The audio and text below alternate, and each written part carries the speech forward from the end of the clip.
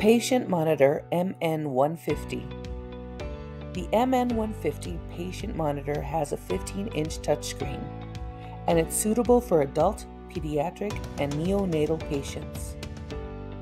The standard configuration includes oxygen saturation, non invasive blood pressure, temperature, electrocardiogram, pulse rhythm, and respiration.